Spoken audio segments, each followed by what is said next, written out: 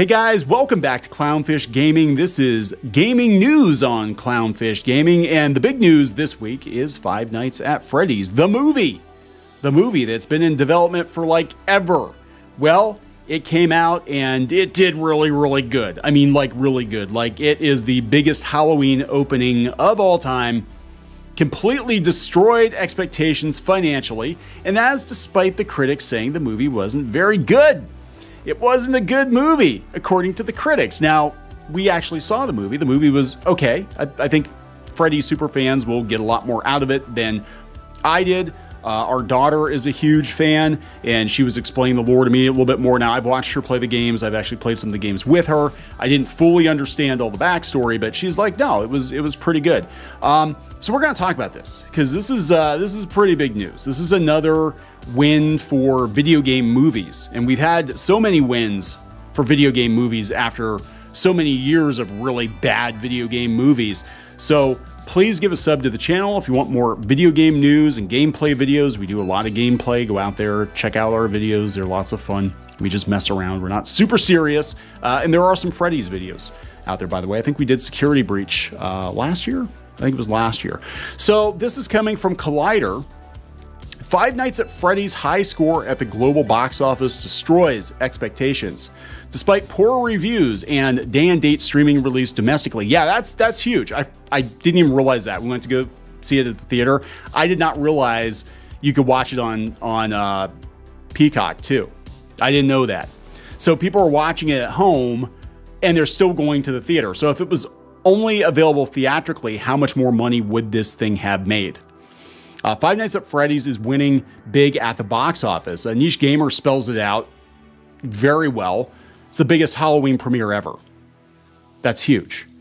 Um, so Universal's Five Nights at Freddy's exceeded expectations, grossing over 100 million globally. I heard it was like 130 million in the first three days, indicating the potential for a new horror movie franchise. You got to remember too, this movie only cost 25 million dollars to make. Okay, they made this thing on a shoestring. $25 million is a Blumhouse movie, and it's already made $130 million or something like that globally. That's crazy. Despite poor reviews and a day and date debut in Peacock, the film still managed to gross 78 million domestic and 50 million from international markets. It actually beat Mario. It beat Super Mario on Friday. It had a bigger opening than the Super Mario movie, which was another win for video games. We had Sonic, we had two Sonic movies, which were actually pretty good and they made decent money. Mario, which made over a billion dollars, and now we've got Freddy's. Now, I don't know if Freddy's is going to make a billion dollars. I don't know if FNAF is going to make that much money, but it's going to make, considering it only costs $25 million to make, it's going to make a profit. It might actually turn a bigger profit than the Sonic and Mario movies. Uh, Five Nights at Freddy's is Blumhouse's biggest opening to date, surpassing their previous record set by the Halloween reboot, and also has the top global debut for a horror movie this year and the second biggest debut for a video game adaptation. Of course, behind Mario, but uh, Mario cost a lot more money. So yeah, oh, okay, it's actually less. Five Nights at Freddy's was produced on a reported budget of just $20 million, proving yet again that horror is the most lucrative genre of them all if done right. Yeah, because you can spend a lot of time just, uh, you know, skulking around in the shadows and, uh, you know, save a lot of money on FX, right? Uh, the movie grossed an estimated 78 million in its domestic debut and added over 50 million from 60 overseas markets for a cumulative worldwide opening of more than 130 million dollars. Um, Collider said it was a horrifyingly robotic video game adaptation, which seems to be the consensus. Okay, so I'm to stop you right there. It's got an A minus cinema score. This is another example of audiences and critics not seeing eye to eye. And this was a movie that was obviously made for FNAF fans. Uh, lots of Easter eggs. again, you're going to get more out of it if you're a fan of the franchise. There are quite a few deviations from the game lore and the book lore, but overall they kept the uh, the spirit of of the franchise intact, and a lot of fans seem pretty happy with it, right? Now, as someone who is a casual fan, or you know, someone who's casually familiar with the games, who's played the games a couple of times, who who has uh, watched my daughter play the games, uh, it's watchable. The movie actually is watchable. I mean, I don't think it's the best thing ever, but it definitely is not the worst thing ever. And there were there were articles out there a day or two before the movie came out saying that this was like the worst movie of the year. And I'm like, I don't know what movie you watched. It was pretty okay. I mean, it wasn't a masterpiece, but it was a pretty okay movie. I would say personally, I would give it a six or seven out of 10. It's something that if you you're not really that familiar with Five Nights at Freddy's, um, and you know what you're getting yourself into, that, you know, demonic or not demonic, but possessed animatronics, right? You know the, the basics, right? Chuck E. Cheese gone wrong. And you, you set your expectations accordingly. It is a watchable movie with an actual plot and likable characters, and uh, you get invested in the story, and it's fine. The movie is fine where this 26, 25, 26% on the tomato meter is coming from, I have no idea. I don't know what movie they watched. I don't know if, you know, it's because it's a video game movie because we saw Mario had very poor reviews. Sonic's reviews weren't that that great either. Um, Sonic, I would say, probably deviated the most from the games because it had an awful lot of humans in it you know, it had a lot of a lot going on with the humans, a lot of humans, and uh, it seemed like the critics like the like the human element of it.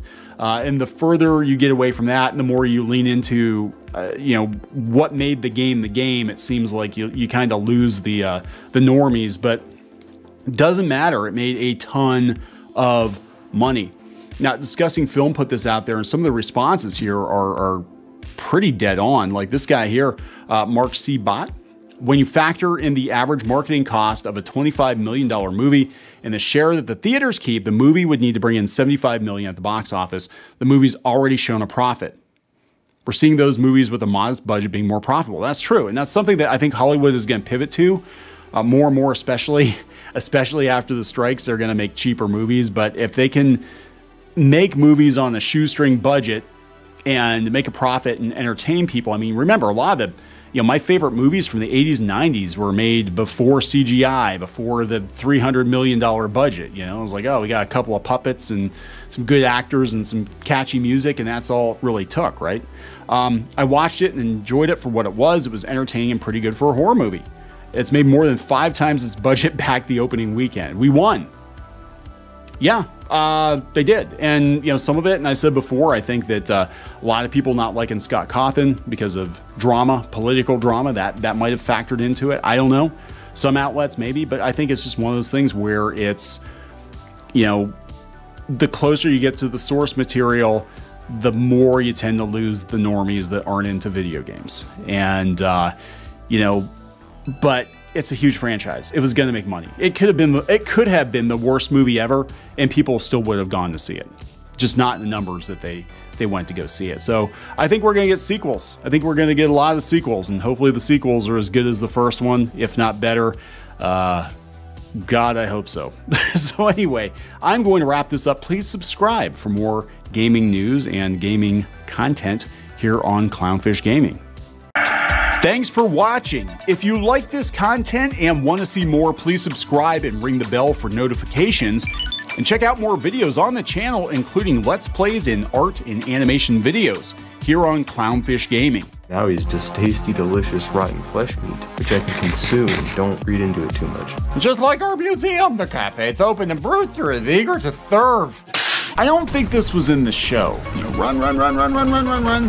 Oh, Oh, you got splatted. No. Oh, wait, oh, wait, oh she was begging and what? you kicked her in the face. I don't care. Hey guys, Squid King here, and today we're in a. Not girl boss, not girl boss at all. She is not a material girl. She is not.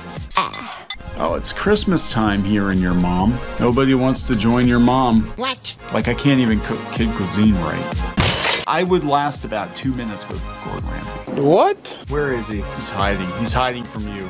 Better. Oh my god, you got the axe. Walker, does this look like Steven Universe? Let me punch him. Well, I'm just here for the wax. right where you belong. Get in the dirt. Well, that was a combination of events I probably shouldn't have put together. Anyways, let's open this bottle too. Chica Pinata. Is that official? Oh, no. There's a bootleg. Hello. I'm sorry. Hey guys, it's Diamond Tool. Let's make a farm. Like and subscribe and buy my merch. I mean, while you're here, you guys should like really like and subscribe and buy our merch, all of which we have. that is true. Can't run him carrying trash. You can get away with one F bomb per PG 13 movie. Oh, I wish I'd known that sooner. Yeah. All right, so we're going to wrap this effer up. Yes.